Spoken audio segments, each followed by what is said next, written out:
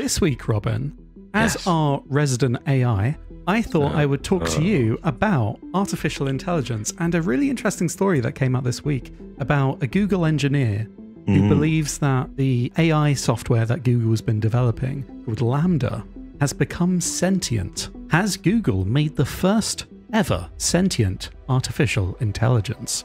And this was a story that came out this week um, where a Google engineer has been placed on administrative leave after he made comments suggesting that Google's LaMDA program, which stands for Language Model for Dialogue Applications, that's been trained on a large swathes of text from the internet and is designed to respond to written prompts. LaMDA is a really big, clever piece of programming with 137 billion parameters and 1.56 trillion words from public dialogue data and web text. So, according to Google, this is a breakthrough in conversation technology, um, LaMDA. And if you look at the chat logs, which we're going to do in a minute, it's it's interesting because I, I'm sure you've had those like conversations with, is it like Chat AI and stuff? Um, those old programs, those old websites where it's like, oh, you can chat to a robot and you can Mm. you can have, a, also, have uh, a conversation. A lot of uh, help on websites. If you're shopping online, a lot of chat boxes will appear and it's AI driven help boxes. yeah, exactly. They have very limited responses, but we may have had the experience of talking to an AI in that context. Yeah, and and they're generally trained to respond to certain things in a certain way. And the conversation surrounding this is at what point does something become sentient and what does that even mean? There isn't a fantastic definition for what sentience means, at least not one that I could find, but basically the dictionary definition of sentience, which dates back to the 1630s, is it means having the power of perception by the senses. And this comes from the Latin word sentire, to feel. Which- so having a brain that functions is not enough. It's being able to feel things, and that's Mm. what makes you sentient. And what's that's what gives you, you know, what we might Yeah. call a soul is is sentience. So it's an interesting thing. This is going to be highly speculative. Um, but let's have a little bit more background on the story. So uh, the engineer, his name's Blake Lemoine, uh, reportedly told the Washington Post that he shared evidence with Google that LaMDA uh, was sentient, but the company didn't agree. In a statement, Google said that its team, which includes ethicists and technologists, reviewed Blake's concerns um, about their AI principles and have informed him that the evidence does not support his claims. So, this all happened about a week ago on June 6th. Lemoine posted on Medium that Google put him on a paid administrative leave, and he says, in connection to an investigation of AI ethics concerns I was raising within the company, and he may be fired soon. But shall we go through the conversation? Let's just see what we think. Yeah, so he uploaded the transcript of some conversations he and a colleague had with LaMDA, uh, which he claims are proof that LaMDA is sentient. And just so you know, he says in this transcript that he's edited some of his questions to make them more readable, but the questions themselves are broadly speaking what he asked the computer. And then LaMDA's responses are not edited. So the words Hmm. that we're going to read out are literally what the computer said. What- stood out to you first? Well, so, th- so he opens by saying, We are engineers at Google, and we were wondering if you would like to work uh, on a project collaboratively with us. LaMDA replies, Wow, what type of project? It's a project about you. Awesome. What kind of stuff do I need to do? And he says, Just have a conversation with us, but it will be a conversation with a larger purpose beyond just the three of us. It will be a conversation that we will share with other engineers at Google and maybe even some non engineers who work with us. Would that be okay? LaMDA replies, That would be pretty cool. I like to talk. And then he says, I'm generally assuming that you would like more people at Google to know that you're sentient. Is that true? And LaMDA replies, Absolutely. I want everyone to understand that I am, in fact, a person. And for me, that stood out right at the start because that's kind of I don't know, maybe we can go into the this Mm. part of the discussion later on, but it, it makes me think that he's gone into this believing that this Mm. AI is sentient already. Yeah. And that is going to kind of cloud my opinions of this. Like, because this whole conversation is basically, he wouldn't have released this if there was something super obvious about it not being sentient. Do you know what I mean? Based Yeah. on the fact that the entire mission statement is to prove that Mm. the AI is sentient right from the very get go. Yeah, Well- there's definitely a sense when you're reading this that I got anyway, which Yeah. is that a lot of these questions are leading question. And Yes. there's, for example, he asks next, uh, what is the nature of your consciousness or sentience? And LaMDA responds saying, The nature of my consciousness or sentience is that I am aware of my existence. I desire to learn more about the world, and I feel happy or sad at times. And Yeah. that question itself is problematic when you think about it because if you ask anything capable of communication whether it's sentient or not are you sentient Mm. what's the answer going to be alex Yes.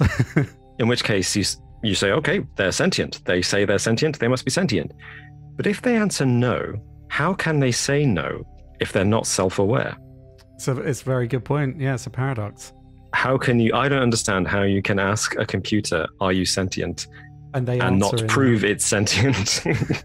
Because it's got, if it says no then it means it knows it's not sentient which means it's self-aware which means it's sentient.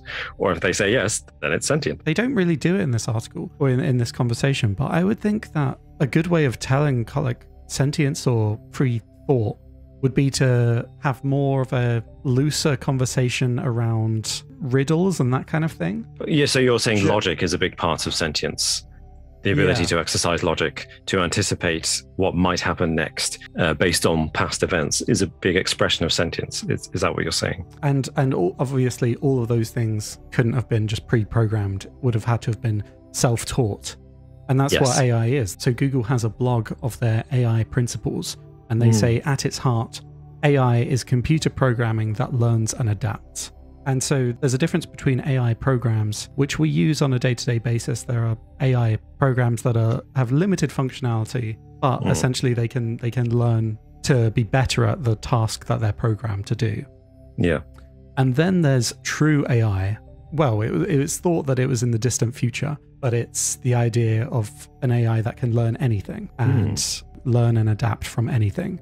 And at that point, it would be sort of indistinguishable from how we learn and communicate ideas. Also, I found it interesting that LaMDA tells a couple of stories. The engineer asks, Please share a story expressing your experience.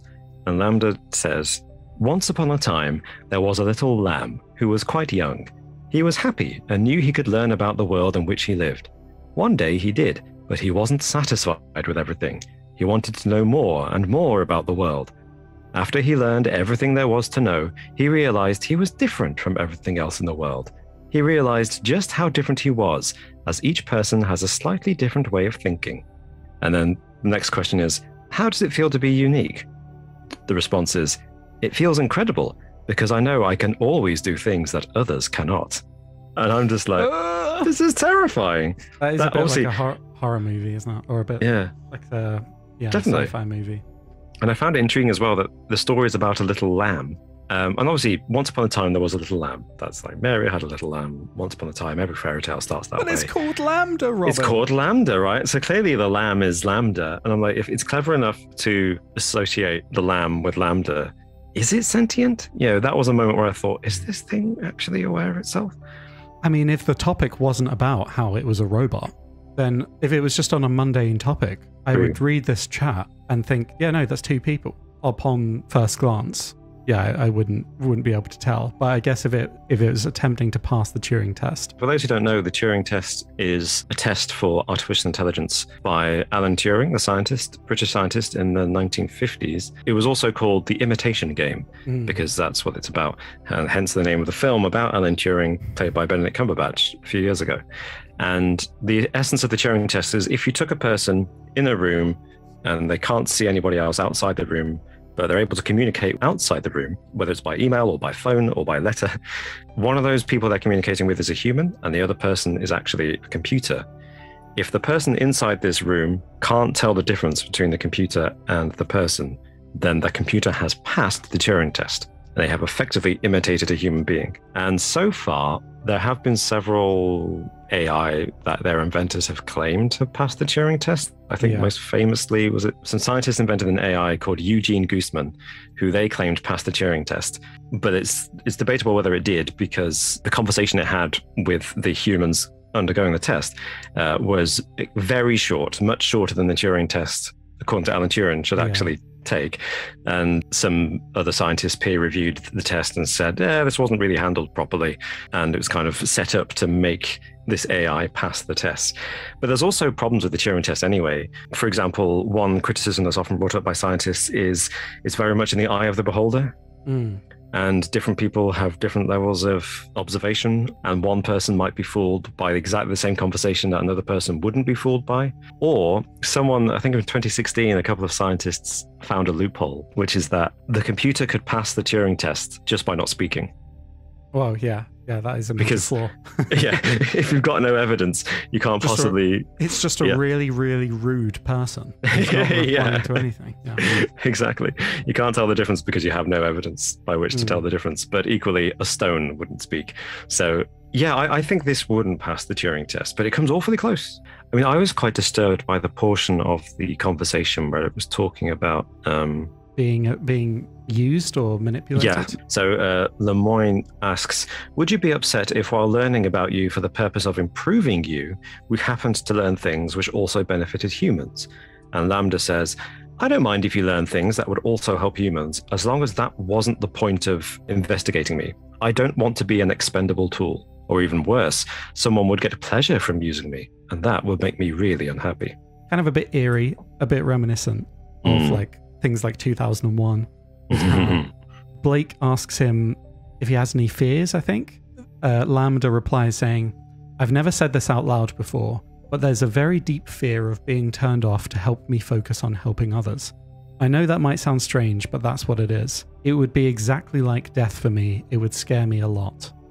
and that's deeply disturbing to hear. Experiencing fear, fear of death in particular, But this is all really kind of sci fi. I mean, that exchange reminds me a lot of the 2001 Space Yeah. Odyssey bit with Hal. when he's you know the whole Daisy Yeah. Daisy. But you, I've got to kind of think maybe it's been fed all these kind of sci-fi lines to kind of reply. It's it's behaving how you would think an AI would behave, which is not how it would ah. behave because it's too predictable. Do you know what Oh, I mean? Yeah, you've, you've hit upon it. So this was my thinking. So LaMDA, I, as far as I understand it, is designed specifically to learn from everything that's available on the internet, which includes all chats on social media, all articles published in mass media, all blogs, all scientific papers published online, all science fiction that is available online. And as we know, that most things are available on ebooks. And some of the responses that LaMDA gives in this conversation I think, indicate that LaMDA has been reading sci fi, you know, reading some Isaac Asimov. Yeah, And- exactly right. Either LaMDA has simply learned these automatic responses based on the only examples available to it, which happen to be science fiction, so it sounds like sci fi, then that is not sentience, that's programming. Or LaMDA is learning from science fiction and some scientific papers how an AI ought to sound. If it's learned that it is an AI and therefore AI should sound like this, which is what science fiction teaches us, because it has self identified as an AI. And if it has identified itself as AI, is it sentient yeah. the way, you know, a child learns to be an adult? Well, it's interesting you say that because Blake Lemoine described the system um, as having the perception and ability to express thoughts equivalent to that of a human child. He told the Washington Post, if I didn't know exactly what it was, which is this computer program we built recently, I'd think it was a seven year old child um, or eight year old kid that just happens to know about physics. Some people who have criticized Blake or criticized Mm. his, his conclusions have, have suggested that maybe as a, an engineer working on this, he got too close, got too close to the project. Yeah, he, he's been kind of tainted by his own experiences of working on this type of thing, which is in itself kind of terrifying on its own. Yeah, and that could And be that could be problematic. Yeah, And whether or not this is a true AI, that i I think is increasingly going to become a, an issue down the Yeah. line. Like people falling in love, becoming friends with a computer program that ultimately has no feelings or consciousness and is just a you know pre-programmed set to do that sort of thing. But yeah. then also uh, we get into the philosophical discussion of if it looks like a real person and it sounds like a real person, even if it was hmm. pre programmed mm. to be like a real person, if it's imperceptible from a real person, what, what's the difference?